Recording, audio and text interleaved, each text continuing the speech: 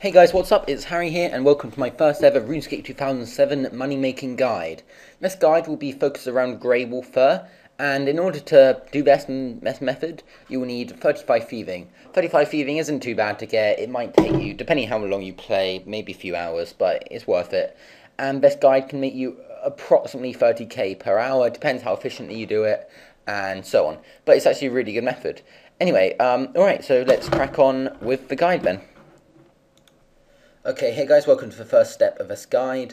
Um, so you need to go to Ardor Furstall, which I am standing right near now. It is shown by this little sign in on the map, the sort of stickman type of thing.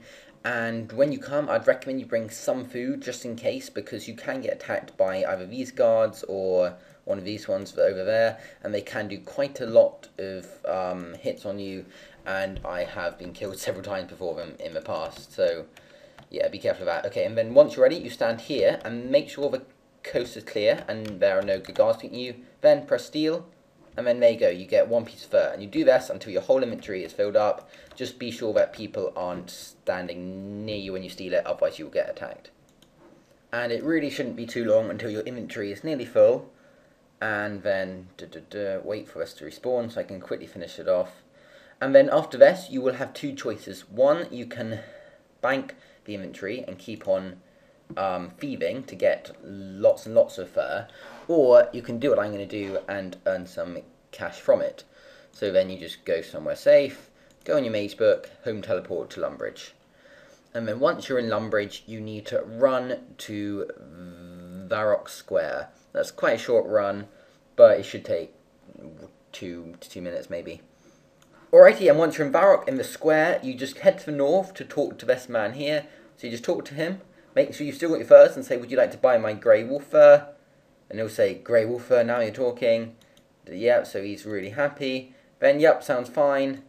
And then you sell them all. See your cash piling up. Oh, look at that money. Oh, so satisfying seeing it all roll in. And then don't wait for this all to sell.